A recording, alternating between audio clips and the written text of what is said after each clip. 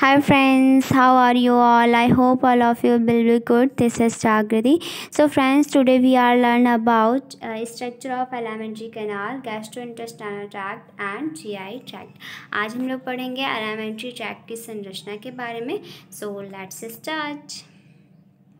Friends जो gastro intestinal tract है, उसके उसके मतलब कितनी लेयर होती है? चार लेयर होती हैं। टोटल फोर लेयर्स होती हैं गैस्ट्रो इंटेस्टाइनल ट्रैक्ट की।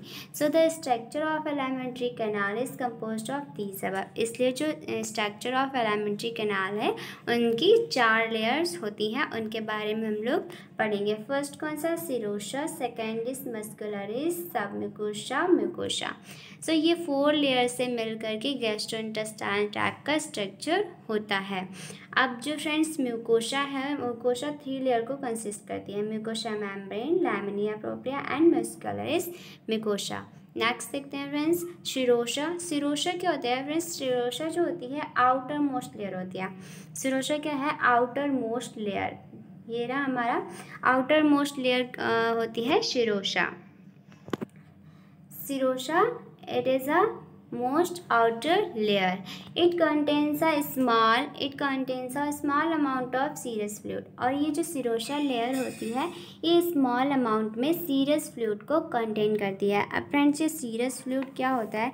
सीरस फ्लूड जो होता है, वो पेल येल्लो कलर का होता है। कैसे होता है? सीरस फ्लूड जो होता है, वो पेल येल्लो कलर का होता है। एंड इसका जो इसका जो वर्क होता है सीरस फ्लूड का मतलब a common and tract of serous fluid is there role is assisting digestive secretion and respiration जो सीरस फ्लूड का मेन वर्क होता है, वो तीन वर्क होता है.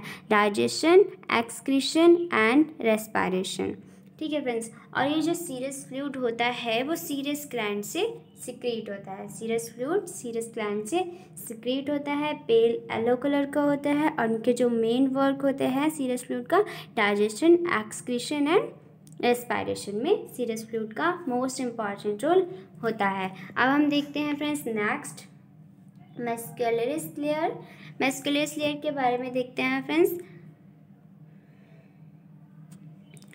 it is a thin outer layer musculus layer जो होती है, वो थिन आउटर लेयर होती है, पतली होती है आउटर लेयर होती है मेस्कुलरिस लेयर ये फ्रेंड्स हम लोग देख रहे हैं मस्कुलरिस लेयर शिरोसा के जस्ट बिलो सिरोसा के just below and this is second layer muscularis जो होती है, वो सेकेंड लेयर होती है और शिरोसा के जस्ट बिलो प्रेजेंट होती है. मस्कुलरिस थिन लेयर होती है एंड सेकेंड लेयर होती है एंड सिरोसा के जस्ट बिलो प्रेजेंट होती है.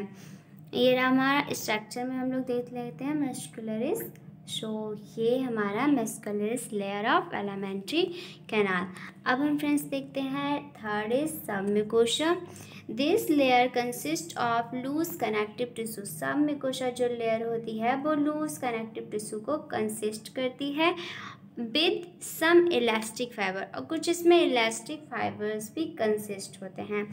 This layer is present just below the muscularis और ये क्या होता है फ्रेंड्स ये जो आ, हमारा सब विकोसा लेयर जो होती है वो मस्कुलरिस लेयर ये जो मस्कुलरिस है उसके जस्ट बिलो प्रजेंट होती है। Third is mucosa next mucosa mucosa is the innermost layer mucosa जो होती है वो इनर मोस्ट लेयर होती है गैस्ट्रोइंटेस्टाइनल ट्रैक्ट की।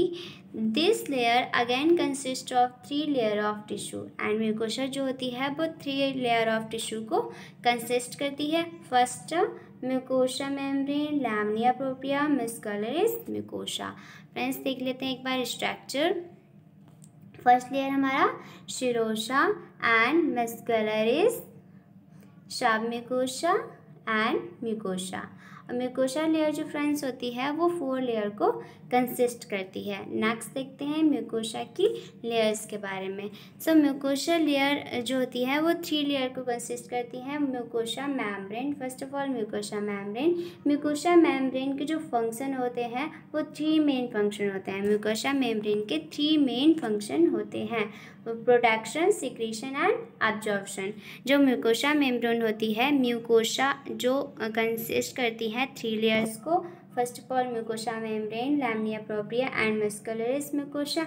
तो उसमें से जो फ़र्स्ट लेयर है हमारी म्यूकोशा की, म्यूकोशा मेम्ब्रेन तो इसके थ्री मेन फ़ंक्शन होते हैं protection secretion and absorption next देखते हैं friends lamina propria lamina propria जो होती है, वो कनेक्टिव टिश्यू को कंसिस्ट करती है लूज कनेक्टिव टिश्यू को लैमिना प्रोप्रिया कंसिस्ट करती है। Which support the blood vessels और जो कि ब्लड वेसल्स को सपोर्ट करती है। And that nourish the inner epithelium layer और ये हमारी जो इनर एपिथेलियम लेयर होती है, उसे नरिश करती है and carrying amount of lymphoid tissue अब हम फ्रेंड्स देते हैं muscularis mucosa it is the it is a their outer layer ये जो होती है, वो स्मूथ मसल की आउटर लेयर होती है. फ्रेंड्स ये हम लोगों ने देखा स्ट्रक्चर ऑफ़ एलिमेंट्री कैनाल एक बार देख लेते हैं। इस फोर लेयर्स होती हैं, सिरोसा मेस्करेस शमिकोसा म्यूकोशा और म्यूकोशा जो होती है, वो थ्री लेयर को कंसिस्ट करती है। एंड सब शिरोसा जो होता है, वो आउटर मोस्ट लेयर होती है। एंड सीरस फ्रूट को कंसिस्ट करती है। एंड मस्कुलर्स जो होती है, वो thin layer thin outer layer होती है स्मूथ मसल की एंड सेकेंड लेयर होती है सिरोशा लेयर के जस्ट बिलो प्रेजेंट होती है। शब मिकोसा जो होते हैं, वो लूज कनेक्टिव टिश्यू को कंसिस्ट करती है एंड इलास्टिक फाइबर को कंसिस्ट करती है। This layer is present just below the muscularis और मस्कुलरिस के जस्ट बिलो प्रेजेंट होती है। देखते हैं फ्रेंड्स, म्यूकोशा म्यूकोसा जो होती है इनर मोस्ट होती है थ्री लेयर्स को कंसिस्ट करती है।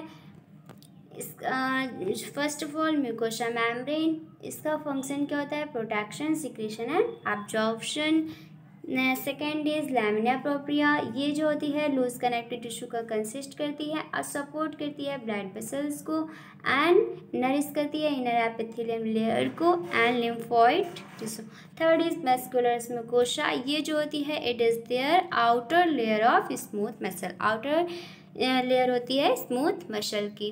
फ्रेंड्स ये हम लोगों ने देखा है structure of alimentary canal gastrointestinal tract G I tag बोल सकते हैं। आई होप आपको ये वीडियो अच्छा लगा होगा। अगर आपके लिए हेल्पफुल रहा है तो please like and subscribe my channel thank you so much my friends